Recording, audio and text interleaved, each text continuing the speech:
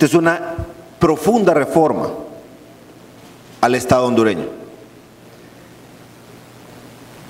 Y le agradezco a Dios por haberme dado la oportunidad de estar sirviendo en este momento al país desde esta posición, porque somos protagonistas como generación de un cambio trascendental, profundo, pero sobre todo con este instrumento haremos justicia, justicia a quienes no han tenido ese beneficio de la seguridad social. Esto es lo que consultamos con muchos hondureños. Y además quiero reconocer aquí que también fuimos a ver las mejores prácticas a otros países,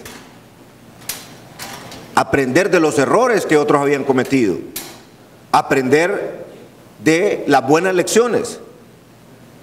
Y este es un trabajo intenso. Entonces, este es un gran momento para, para el país. Beneficios.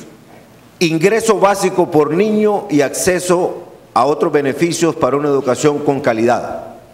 Transferencias condicionadas, es decir, a la gente más humilde, más necesitada. Sé que algunos, principalmente algunos amigos empresarios, no creen en esta parte, pero cuando alguien es pobre, no tiene nada, nuestro deber es ser solidario y de paso condicionarle a que sus hijos vayan al kinder, después a la escuela, después al colegio. Y sabemos que cuando ese niño o niña se eduque, lo alimentamos bien en la escuela y le damos esa transferencia condicionada para que coma bien en su casa. Cuando ya salga del colegio, vamos a ver roto el círculo de la pobreza. Hogares temporales para niños en riesgo social y otros grupos poblacionales altamente vulnerables. Apoyos o subsidios en dinero en especie para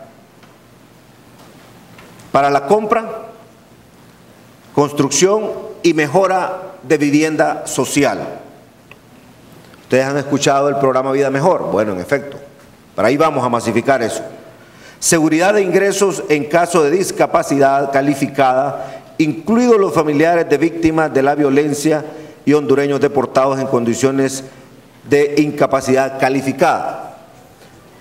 Alguien que tiene un pariente a quien tiene que dedicarle todo el día para atenderlo porque está postrado y no puede valerse por sí mismo, lo justo es que nosotros, el resto de los hondureños, le demos el apoyo a esa madre, a esa hermana, a esa tía, para que esté cuidando a esa persona que nunca quiso estar ahí postrada. Eso ya estamos a punto de lanzarlo, pero es parte de los beneficios de todo este sistema sepelios dignos. Miren, es triste ver a un familiar pidiendo ayuda porque no tiene un ataúd para ir a enterrar a su pariente. Esa es parte de la dignidad. Muchos de nosotros los políticos lo hacemos, pero debe ser el Estado y de garantizárselo a todo el mundo. No tiene dinero para enterrar dignamente a su ser querido, el Estado se lo debe proveer. Ese es un tema de justicia. Inclusión financiera.